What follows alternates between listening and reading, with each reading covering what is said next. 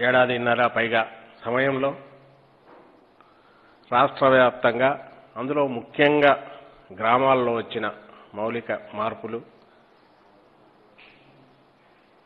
Village secretariats గ్రామ సచివాలయాలు అయితేమి వాలంటీర్ల వ్యవస్థ అయితేమి తద్వారా దాదాపు ప్రధాన సెక్రటేరియట్ రాష్ట్ర స్థాయిలో ఉన్న సెక్రటేరియట్ నుంచి ప్రధాన విభాగాలు సూక్ష్మ స్థాయిలో పంచాయతీ స్థాయికి పోయిన నేపథ్యంలో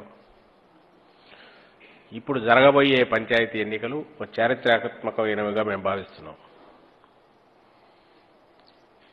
ఈ చారిత్రాత్మక ఎన్నికల్లో గెలవబోతున్న సర్పంచులుగా కానీ వార్డు మెంబర్లుగా కానీ వస్తున్న నాయకులు ఎవరైతే గ్రాస్ రూట్స్ లెవెల్ నాయకులు ఉంటారో వాళ్ళు పూర్వంలాగా ఏదో కేవలం ఎక్స్టెన్షన్ ఆఫ్ కిందికి ఎక్కడో ఉండి చిన్న పని కావాలనే మండల ఆఫీస్కి పోయే దాని నుంచి పరిస్థితి నుంచి. ఇప్పుడు తమ పాలన తామే చేసుకోవడంలో తమ పాత్ర కూడా పెరిగిన పరిస్థితి ఈరోజు వచ్చింది. ఒక అభ్యుదయ అభ్యుదయకరమైన పరిస్థితి ఆహ్వానించదగ్గ పరిస్థితి గ్రామ స్వరూపం మారే పరిస్థితి. ప్రతి గ్రామానికి ప్రతి పంచాయతీకి ఉన్న అవసరాలు రాష్ట్ర స్థాయి నుంచి ఎంతగా వాటిని గమనించి ఆ అవసరాలు తీర్చాలని ప్రయత్నం చేసినప్పటికీ స్థానికంగా ఉన్న అక్కడ పరిస్థితులను బట్టి ప్రజాప్రతినిధుల పాత్ర అందులో ఉండడం అంటే జరిగే అభివృద్ధి కానీ అభ్యుదయం కానీ సంక్షేమం కానీ డిఫరెంట్గా ఉంటుంది. మరింత మంచిగా మెరుగులు దిద్దుకుంటుంది అనే విషయం ప్రత్యేకంగా చెప్పనవసరం లేదు. అందులో జగన్మోహన్ రెడ్డి గారు అధికారంలోకి రాగానే ముఖ్యమంత్రిగా పదవి స్వీకారం చేయగానే తొలి పెద్ద ముందడుగు ముందు వేసి గ్రామంలో ప్రజాప్రతినిధులు రాగానే వచ్చే సమయానికి అవసరమైన రంగం పూర్తిగా అధికార యంత్రాంగం నుంచి లేదా ఉద్యోగుల నుంచి పూర్తిగా దాన్ని రెడీ చేసి పెట్టారు. ఇప్పుడు అక్కడికి రాబోతున్న సర్పంచులు పదవి స్వీకారం తర్వాత వార్డు మెంబర్లతో సహా దాని ఆ విలేజ్కి తగినట్టు మార్చుకోవడానికి వీలుగా వాళ్ళకు రంగం సిద్ధం చేసి సిద్ధ అక్కడ రెడీగా ఉండడం అనేది గమనించదగ్గ విషయం.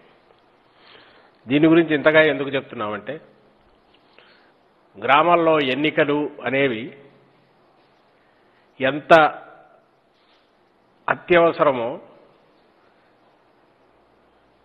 మహాత్మా గాంధీ కలలు గన్న గ్రామ స్వరాజ్యంలో అత్యంత కీలక పాత్ర వాటికి ఎలాగ ఉందో పంచాయతీరాజ్ చట్టం ప్రకారము దేశవ్యాప్తంగా ఉన్న దానికి ప్రాధాన్యత ఎలాంటిదో ప్రత్యేకంగా చెప్పాల్సిన అవసరం లేదు. అయితే అవే ఎన్నికలు పట్టుదలలకు వర్గ వర్గాలకు కక్షలకు కార్పణ్యాలకు కూడా కారణం కావడానికి ప్రధాన వేదికలుగా అవుతున్న విషయం కూడా మనం గమ- గతం నుంచి గమనిస్తున్నాం. ఆ పరిస్థితిలోనే పార్టీల పరంగా అయితే ఉండే వాటి వాటికి వచ్చే ఒక క్యారెక్టర్ ఏదైతే ఉందో ఈ పట్టుదలకు అవకాశం ఉందో అది తీసేసి పార్టీ రహితంగా గ్రామ స్థాయి పంచాయతీ ఎన్నికలు జరుపుతున్నాం. గతంలో కూడా జరిగాయి. ఇప్పుడు మా విజ్ఞప్తి ఏంటంటే పార్టీ రహితంగా ఇక్కడ ఎవరూ పట్టుదలకు పోవాల్సిన అవసరం లేని ఎన్నికలు ఇవి. అందరి దృష్టి ఉండాల్సింది ఆ విలేజ్ డెవలప్మెంట్ మీద. వైఎస్ఆర్ కాంగ్రెస్ పార్టీకైనా ఇంకో ప్రతిపక్షాలకైనా ఇతర పార్టీలకైనా ఆ విలేజ్లో డెవలప్మెంట్ మీద దృష్టి ఉన్న ఎన్జిఓ లాంటి వాటికైనా సివిల్ సొసైటీకైనా. ఈ ఎన్నికలు ఎంత ప్రశాంతంగా జరిగితే తర్వాత జరిగే కార్యక్రమాలు కానీ తర్వాత జరిగే స్కీముల పథకాల ఇంప్లిమెంటేషన్ అండి ప్రజల అవసరాలు తీర్చడం అనేది సులభంగా ఎలాంటి గొడవలు లేకుండా శాంతియుతంగా జరిగే అవకాశం ఉంటుంది. ప్రోగ్రెస్ కూడా అలాగే కరస్పాండింగ్ ఇది వస్తుంది కాబట్టి. పార్టీ రహితంగా జరిగే ఈ ఎన్నికల్లో వీలైనంత వరకు పట్టుదలకు పోకుండా పోటీ లేకుండా ఏకగ్రీవంగా ఎన్నికలు జరగాల జరిపే ప్రయత్నం. ఎందుకంటే అక్కడ పార్టీ ప- పరంగా లేదు. ఎవరు పట్టుదలకు ఏ పార్టీ పట్టుదలకు పోవాల్సిన అవసరం లేదు. స్మూత్గా పెద్దలు ఎవరన్నా ఉంటే కూర్చొని మాట్లాడుకొని ఏకగ్రీవ ఎన్నికలు చేయడం అనేది